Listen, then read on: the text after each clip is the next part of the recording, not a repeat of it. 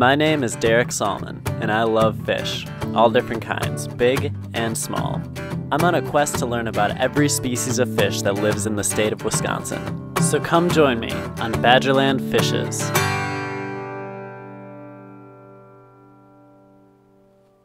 Hey everybody, today I have something really exciting for you.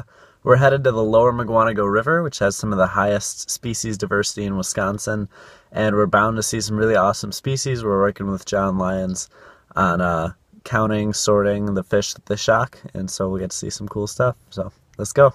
The Mukwonago River is one of the cleanest and most biologically diverse rivers in all of Wisconsin. A variety of available substrates along with high water quality provide excellent conditions for at least 53 different species of fish. These include the state-threatened northern sunfish and state-endangered starhead top minnow. The river is also extremely diverse in mussel fauna and provides a home for the only viable population of the state-endangered rainbow shell. Yearly river monitoring is done on the lower portion of the river by the Wisconsin Department of Natural Resources along with many volunteers.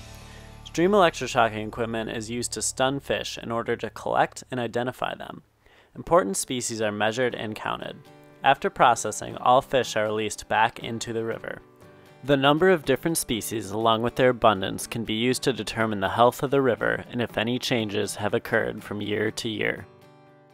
Even though the river is home to a variety of different species, today we're just going to be highlighting some of the ones that make the watershed so unique. We got some DNR folk electroshocking over here.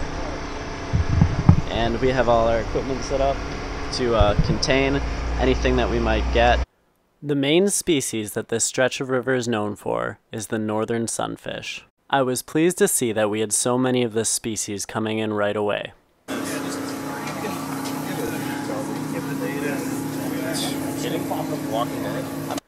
The northern sunfish is a threatened species in the state of Wisconsin.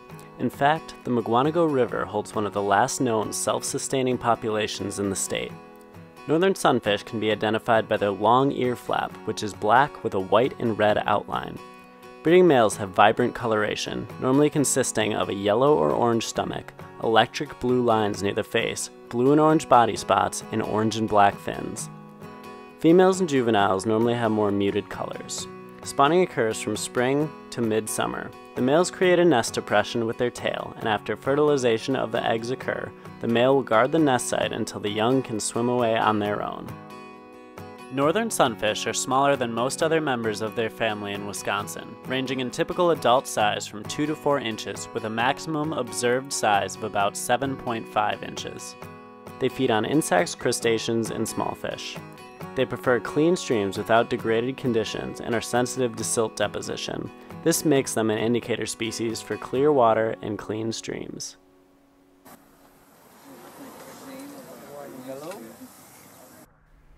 Another unique species we found was the common log perch.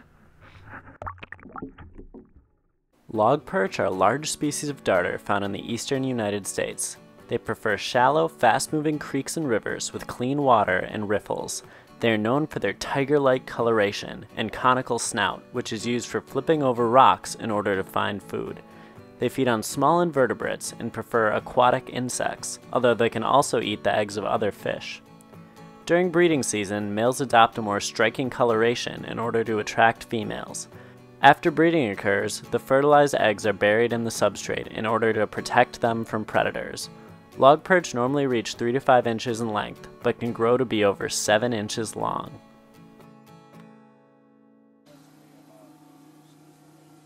After checking out the log perch, I decided to look at one of the Mukwonago River's predatory species, the bowfin.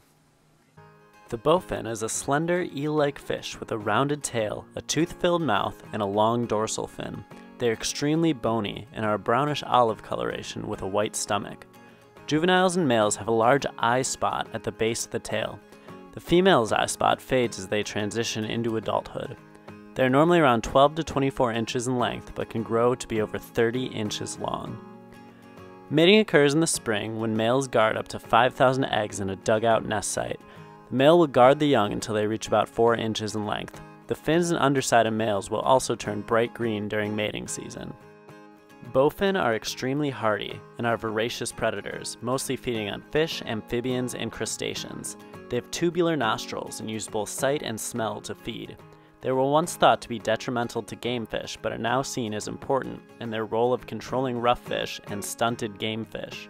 They prefer clear vegetated streams, but can tolerate high temperature levels and large amounts of silt and mud. Bowfin are known by many other names, including dogfish, mudfish, cypress trout, beaverfish, and more. The bowfin family is thought to date back to the Jurassic period, and bowfin still contain a primitive gas bladder that allows them to take in air and breathe. They are thought to be able to survive out of water for up to 24 hours. Bowfin are native to Wisconsin and inhabit certain locations in the eastern portions of North America.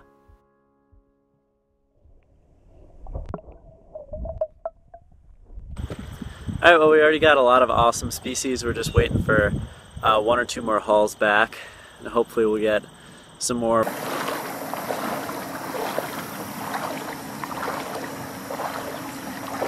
We ended up seeing a couple different species and a lot more of one fish that we'd already seen a lot of, the bluegill. Bluegill were once found in only the eastern part of the United States, but are now found throughout the lower 48 states, and even in places such as Africa, Hawaii, Asia, South America, and Europe. They are members of the sunfish family and are identified by an oval shaped green body with dark vertical bars and a black ear flap. Females have a yellow stomach, while breeding males have a rusty colored stomach. Spawning occurs around May and ends near August. The nest site is guarded by the male until the young are able to swim, which normally takes around 5 days. A female bluegill can lay between 10,000 and 60,000 eggs. Bluegill normally are found in schools of 10 to 20 fish and eat insects, zooplankton, small fish, worms, and more. They prefer to live in lakes or slow moving streams near weed beds.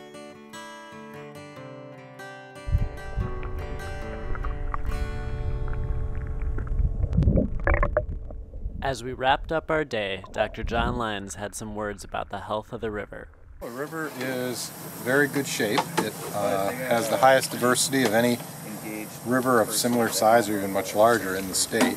And um, we've been tracking it informally for about 30 years and in a quanti more quantitative way for about the last 17 or, so years. And in that time, everything's remained in good shape. The, numbers of certain species will fluctuate from year to year, which is normal.